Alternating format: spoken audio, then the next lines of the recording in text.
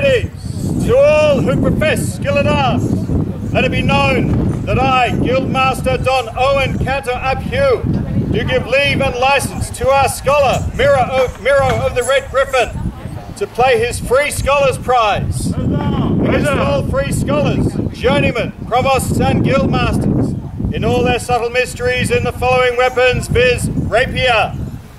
This is to give notice that the candidate stands here upon the field, prepared to perform his utmost towards the achievement and the bearing away of the prize.